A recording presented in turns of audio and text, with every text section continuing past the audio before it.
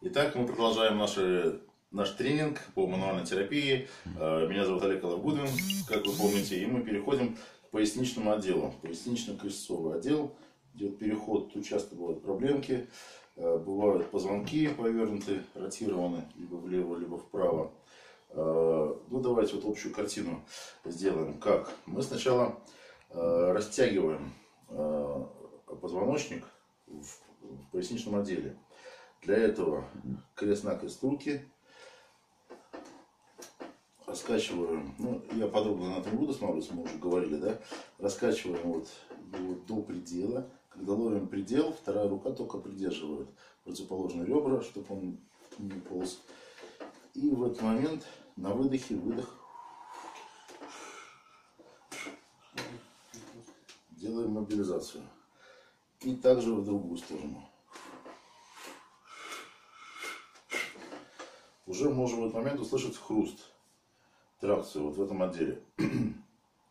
Далее, если нам э, не хватило разминки, ну, классическая массажная, да, и миофасциальная, то есть мы туда вот залезли там, э, исправили, да, но не хватает, все-таки зажато у него еще больше, да, тогда мы его раскрепощаем каким способом?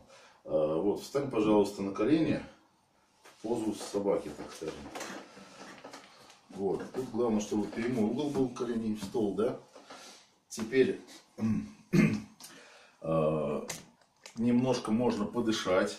Когда ты выдыхаешь, ты- твой э, живот опускается вниз. Я тебе помогаю как бы вот ниже. Вот, вот, вот, вот еще. На видео это может быть не совсем заметно, но вот у него реально поясница все ниже, ниже, ниже опускается. Вот. Вот. А теперь на вдохе ты ее округляешь вверх. Выдох. Вот. Кстати, этот прием можно использовать для самостоятельной практики. Вот вы, например, там устали, да, перетрудились, встали в такую позу дома и сами себя вот так вот э, Расслабить поясницу. подышали, да, она уже расслабится. Там дальше приемы есть еще со столом, но это сейчас нас не касается. Вот, расслабили. Теперь все, выдыхай. И э, на месте оставляем таз с коленями, да, а вперед ползи руками. Ползи, ползи, прям прогибайся, ложись на стол. Вот, мы ему помогаем, держим его крестец с большим упором, а второй рукой вот эти мышцы мы продолжаем растягивать, помогая ему делать тракцию. М, вообще класс. Вот это В да. принципе, можно даже и прохрустеть тут вот. Один раз уже было, второй раз. Главное, чтобы человек дышал. Дышишь нормально? Да, да, да. Вот. Растянули. Немножко можешь провибрировать и постучать эти зоны, чтобы еще больше они расслабились. Вот. Теперь пациент ложится обратно. Ложись на стол. Следующий прием. Секретная, так скажем, разработка с помощью ремня. Вот. Для этого мы продеваем ремень под ним. Вот так вот, да, симметрично. Под подвздошные кости, чтобы вот на них он держится, да? Вот, сам не поднимай таз, расслабься полностью. Дышишь спокойно, расслабляешься. И помните, мы делали вот эти вот восьмерки с шеи, например, да, вот такие вот. Тут мы можем, в принципе, руками поднять его, потрясти, да? Но гораздо удобнее это сделать с ремнем. Подняли, растрясли его. И вот когда он полностью расслаблен, можем еще сделать вот такой прием. Зацепили одной рукой. Ну, это, естественно, только сильный человек сможет сделать. Или, ну, чтобы пациент был гораздо легче вас, чтобы его могли приподнять. Вот приподняли, и опять поясничку ему растягиваете. Тоже в этот момент может быть хруст.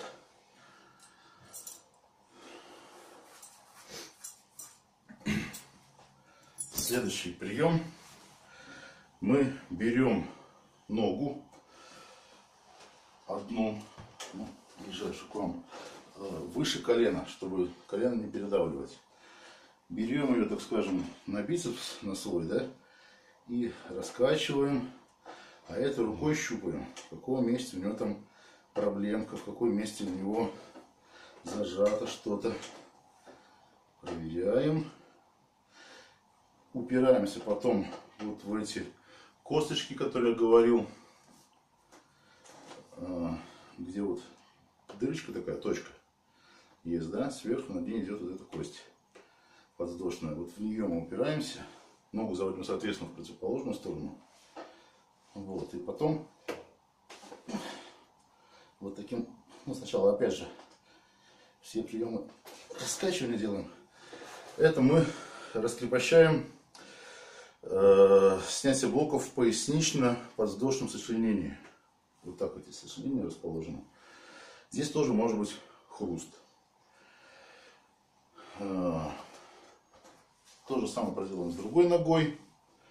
Если, ну, честно говоря, пациент достаточно тяжелый у нас попался, попробуем две ноги захватить. Вот, расслабься. И обоими ногами то же самое делаем. И можно поясницу ему тоже вот так вот продавить.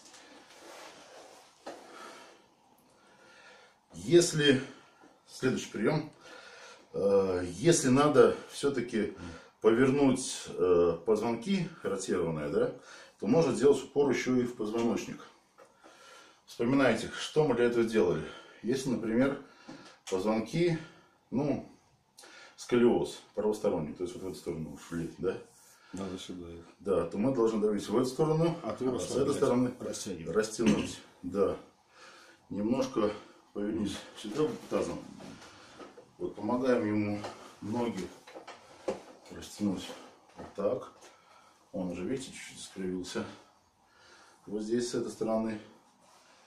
И вот эту ногу, соответственно, тянем еще больше, упираемся уже в по- в позвоночник, прямо в осистой отростке. С легким покачиванием дошли до предела и потом раз, раз, продавили ему позвоночник.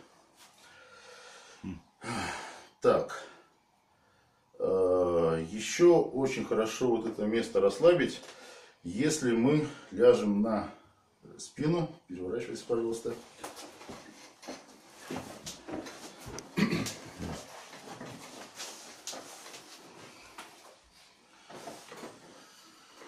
Пояснично-крестовое сочленение. Расслабляйся полностью, полностью расслабь ноги, повесь. Вот, даем ему понять, насколько нужно расслабиться. Подняли ноги выше. Чуть можно себя его притянуть. Эту вот мобилизацию можно сделать вот так вот. Захватив ноги подмышками. Потрясли его. И подняли примерно под 45 градусов его ноги, да?